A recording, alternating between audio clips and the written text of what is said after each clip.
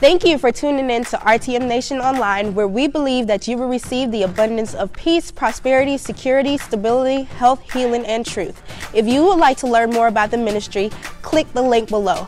Also, don't forget to subscribe to the channel. Now let's get into the message. Let's jump right into this. Open up your Bibles to Proverbs chapter 4, verse 7. In the King James Version, you will find these words Wisdom is the principal thing, therefore get wisdom. And with all thy getting, get what? Understanding. Get understanding. Family, let me tell you, there is no better time than this time of the year right here for us to embrace understanding and wisdom. There's no better time than that. Christmas time carries with it many social traditions. And those traditions vary from home to home, person to person, family to family. From a biblical standpoint, though, in general, the Bible breaks off traditions into two major branches either good traditions or bad traditions. Turn with me to Second Thessalonians chapter 2. When we're talking about good traditions, the Bible, when thinking of a good tradition, it would say these things. Verse 15 King James Version, Second Thessalonians chapter 2. Therefore, brethren, stand fast and hold the traditions which you have been taught, whether by word or by epistle. Epistle. That's that right? Epistle. Epistle. Epistle. Sucker and thuckatag. Epistle. Y'all see it. E P I T. Issel. In other words, there are some good things that you learn through traditions that you got to hold on to. Because if you hold on to the good stuff, it'll, it'll help keep you grounded in life. However, there are some bad things too. If you turn to Mark chapter 7, starting in verse 9, King James Version, we're going to read verses 9 and 13. When we were talking, when we're talking about traditions in the bad sense, listen to what Jesus states about traditions. He said, it says, And he said unto them, Full well you reject the commandment of God, that ye may keep your own tradition. Verse 13, making the word of God none effect through your tradition, which ye have delivered, and many such things do ye. So clearly, there are some good things that we should keep in our life from a tra- traditional standpoint, and there are some things from a traditional standpoint that we should just let go. Socially speaking, family, Christmas time can be quite stressful and unpleasant if you're not careful. If you lose focus, the commercialization of Christmas will run you over. And Christmas, Christmas don't ride a bicycle. Not on a pair of rollerblades. It's an 18 wheeler with a trailer fully loaded. Christmas will run you over if you're not careful. Hey, listen, Christmas is big business. Not big business, big business.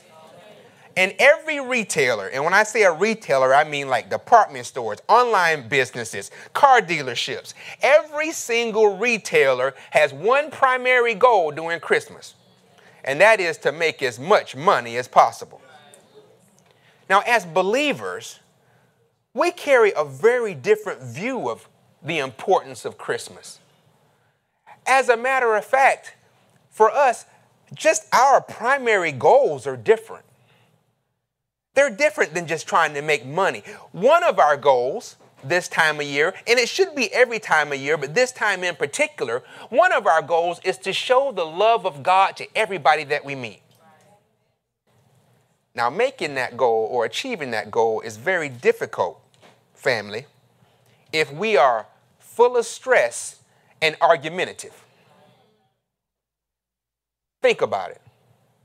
If we are full of stress, all worried about keeping up with the Joneses, if we're getting stirred up because it's only one left on the shelf and we want it, getting argumentative, how many people do you really think we're going to touch with the love of God? Odds are not many. Not in that kind of emotional state. As a matter of fact, if you're not careful, our Christmas can get all twisted in some very subtle ways. If you're not careful, just through the words of your mouth, the very words that you're speaking, you will end up drawing battle lines with the very people that you're trying to reach. And battle lines can come through some crazy places, even the words that we use. I'm going to show you three words. Every year, when these words come up this time of year, battle lines get drawn. Those words are Christmas, what we refer to as what that? Xmas. Almost like an X-Men hero. You know? And what's the other one? Happy holidays. Now check this out, folks. As believers, the way a person or a bit depending on the person, the way a business or a person uses those three words during this time of year can either bring up in us good feelings or cause a, a fight response. If you would allow me, though, I want to give you some quick tidbits concerning these words that hopefully adds to your repertoire of understanding and wisdom. Because we're not here to draw battleground, battle lines with people. We're supposed to reach the lost, not push them farther away. And we can't get messed up and twisted over word selection. Not saying that it's not important. But let's just look at a couple things really quick. This first word, next slide, please. What we know is Christmas. If you were to just research that a little bit, you will find it's a combination of two words, Christ and Mass. So essentially, the combination of that is some type of event or festival or, or religious gathering that celebrates the birth of Christ. Christmas. Next word. The word that we refer to as Xmas. If you look at that word, the Greek for Christ begins and looks like that thing that's written under there. It has a, yeah, you know if I got a pistol messed up, I ain't going for that one. I might bite my tongue off trying to say that thing. I ain't even listen to the audio. I ain't even care what it sound like.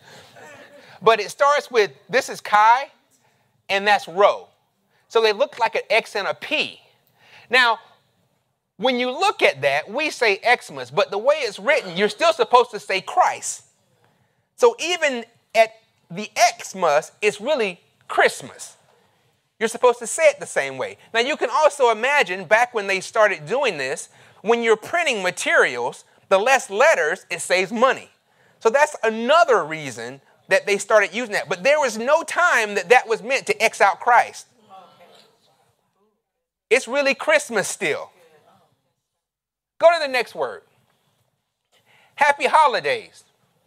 There is sometimes you can come across a, a well meaning, good Bible toting person and you can say happy holidays instead of Christmas. They say, it ain't happy holidays, it's Christmas. well, doggone it, it ain't happy the way you saying it. Sure, it ain't no happy holiday when you say it like that. But if you were to research that term, happy holidays really has its root in people saying happy holy day. Ah. So when you look at all of these three words, giving some understanding, giving some wisdom, right? We like to be educated folks, correct? When you when you look at these three words, all of a sudden they don't seem as different as much as they seem similar. In viewing them that way, hopefully for some of us who usually have a little extra go get them when they hear the last two, instead of the first one, hopefully it gives you a little bit more reserve to help us continue to reach the lost with our words instead of drawing a battle line. Now, personally, this country boy right here, I like Christmas. I like to see the word Christ. I like to hear the word Christ. I, I, I, I just prefer it. But you know what? I'm not going to jump down your throat just because you choose to, to say something different. Why? Because I can't reach you with the love of Christ while I got my hands around your throat.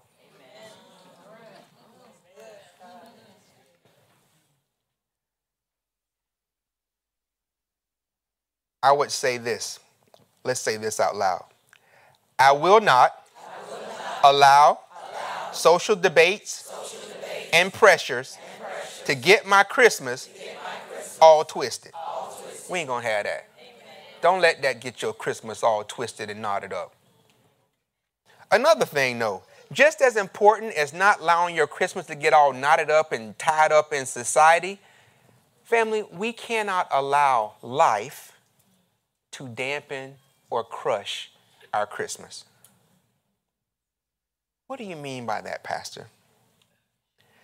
When we greet people during this time of year, we don't just walk up to a family member or a stranger and just say, Christmas. You don't say that. Oh, I don't just run over somebody and just say, Christmas. I, I have a lead in word to it. There's a lead in word to that.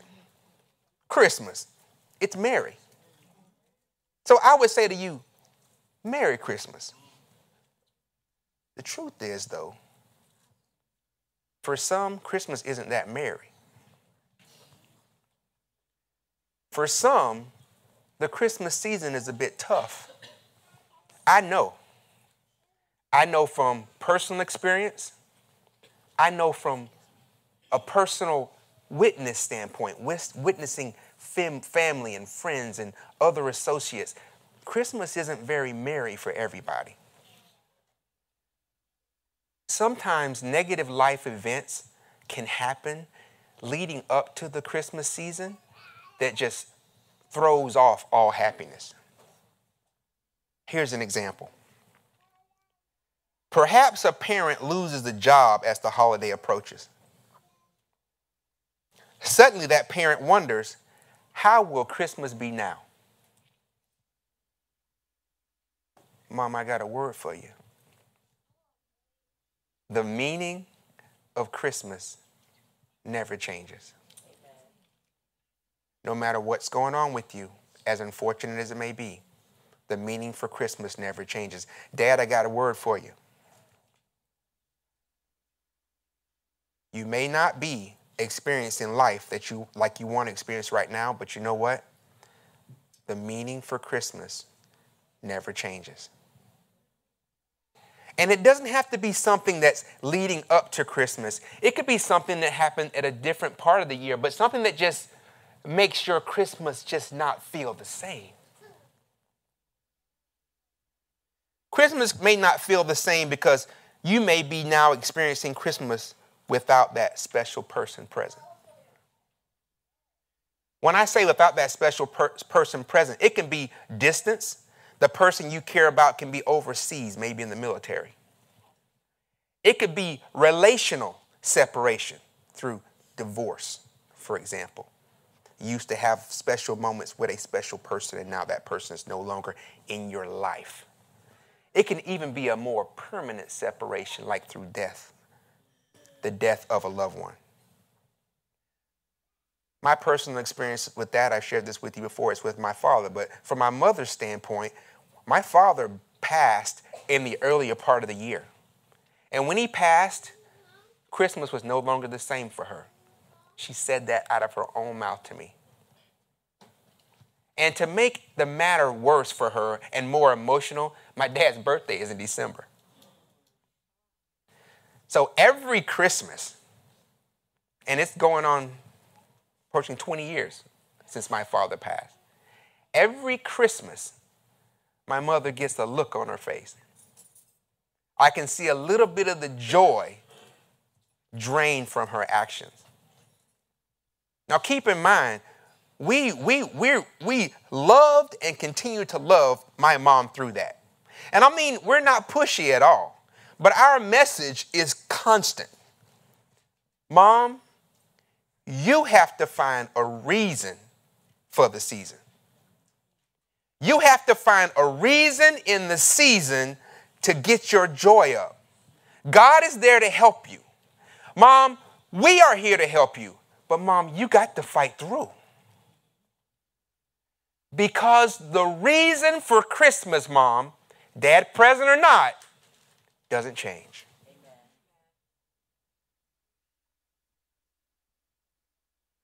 We continue to talk about the reason for Christmas. I don't want anyone to leave here, regardless of your situation, and we empathize with every single situation. We want no one to leave here with a bah humbug attitude. We want you to leave here keeping that merry in the Christmas. Indeed, life happens. No one can ever debate that life happens. Although life happens, though, through it all, that meaning for Christmas, family, does not change. So, what is this meaning of Christmas that we keep talking about? Simply put, Christmas is the day that we celebrate in a big way. It's the season we celebrate in a big way the day that our Lord and Savior Jesus Christ came and he was birthed into this earth physically. If we wanted to really condense that, we could kind of paraphrase some words out of John 1, verse 14. And we can say this about Christmas Christmas is the day that the Word came and dwelt among us in flesh.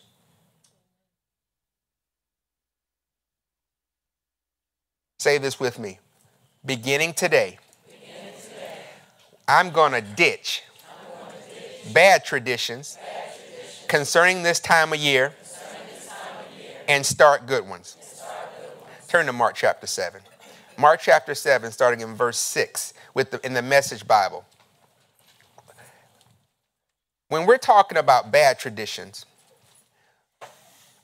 I think this is a good passage for us to kind of stir up the atmosphere of what a bad tradition, tradition is.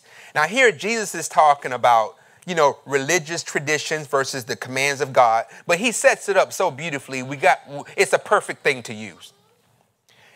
It reads like this Jesus answered, Isaiah was right about frauds like you. Hit the bullseye, in fact. These people make a big show of saying the right thing, but their heart isn't in it. A lot of times people make a big show about Christmas, but their heart's not really in it. They don't really know the reason why they're doing what they're doing. They just caught up.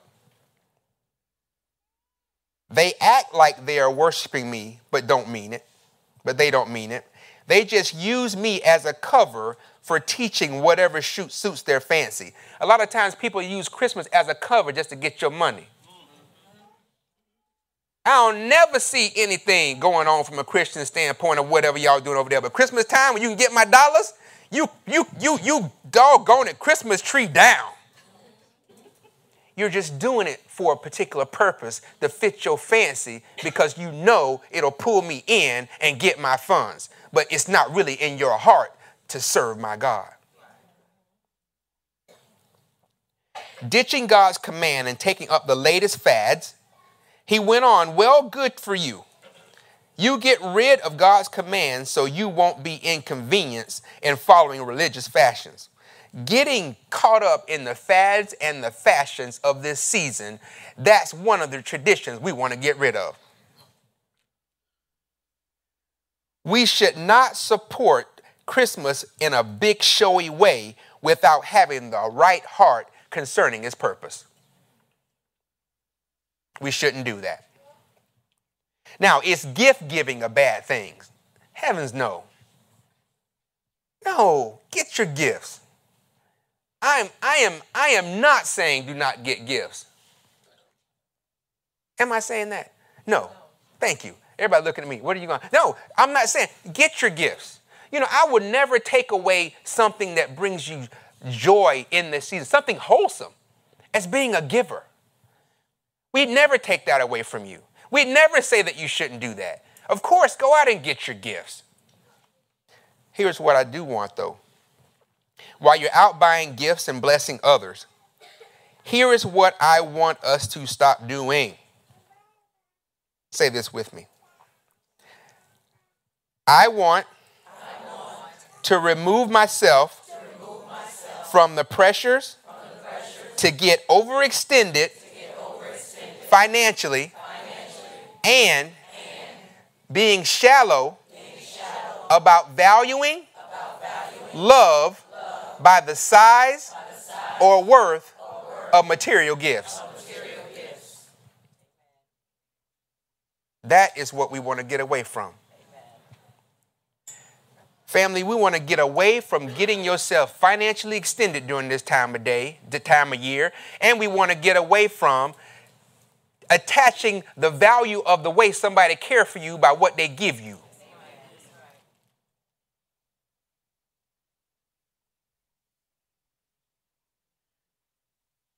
We want to get rid of any tradition that lead us down that road. Now, what about a good tradition? Let's talk about that real quick. Turn to Second Thessalonians chapter 2 verse 15. We've already read it in the King James version. You know, a good tradition is one that keeps the meaning and the spirit of Christmas true. The one we've read already for that is, Therefore, brethren, stand fast and hold the traditions which ye have been taught, whether by word or by epistle. If we were to take a quick look at that same chapter, that same book, same chapter in the Message Bible, verses 14 through 13, 14 through 17, the Message Bible points out the essence of a good tradition for this season. Let's walk through that together really quick. Here's what you'll find. I'm actually going to start in verse 13. Meanwhile, you've got our we've got our hands full, continually thanking God for you, our good friends, so loved by God. God picked you out as, as His from the very start. Think of it. Included in God's original plan of salvation by the bond of faith in the living truth, this is the life of the Spirit He invited you to through the, mes- through the message we delivered, in which you get in on the glory of our Master Jesus Christ. So, friends, take a firm stand, feet on the ground, and head high. Keep a tight grip on what you're taught, whether in personal conversation or by letter. May Jesus Himself and God our Father, who reach out in love, surprise you with gifts of unending help and confidence, and put a fresh heart in you, invigorate your work, enliven your speech. Back to verse 13 a quick run through. What would be a good tradition? Just picking out a couple words. Number one, we want to thank God during this year for good friends. That's one of your traditions during this time of year, to just thank God for good friends. Amen. Also, thank God because God picked you.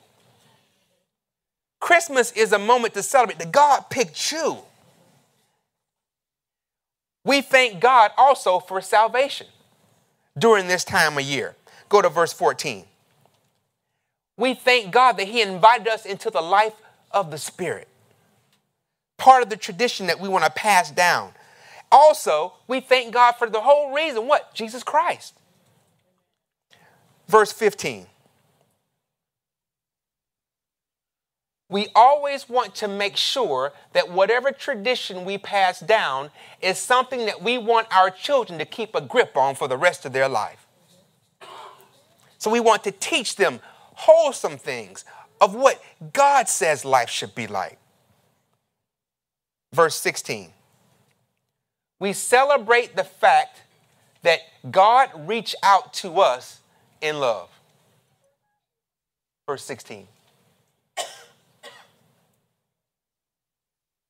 Okay. Verse 17. We have here also a fresh heart, invigorate your work, and enliven your speech.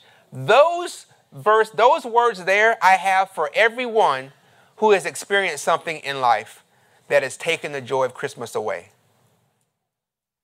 Our prayer is that God gives you a fresh heart that He invigorates you and lets you know what the true meaning of this season is, and that He changes your speech to speak joyous things around this time, to be able to let people know what the true meaning of this season is all about. Good traditions. We're wrapping up. So let, let the children know they can get ready to come in. Good traditions are very powerful tools if used correctly. The things that we pass down to our children, they will pass down to their children. And if done correctly, generation after generation will truly understand and know what this season is all about. We will be able to establish a good tradition. We will be able to make Christmas a good tradition. Here is the harsh reality, though, about a tradition. A tradition may start with a one time event, but a tradition never becomes a tradition if it's only done once or if it's done inconsistent. We cannot establish a tradition with our families if we don't put the work behind making the tradition stick. I love how author Nathaniel Hawthorne put it. Listen to this and tell me if this is not insightful. He said, Nobody can make a tradition, it takes a century to make it. Think about that. Nobody can just up and make a tradition in a moment. A tradition takes time to become a tradition. Someone who made sure that consistently the same message and the same event took place. If we want to know the true purpose of Christmas and we want to make sure that it continues to thrive out loud, we have to make sure that the Christmas tradition remains true. That it's focused on Jesus Christ and the fact that God loved us enough to institute a plan to save us when we couldn't save ourselves.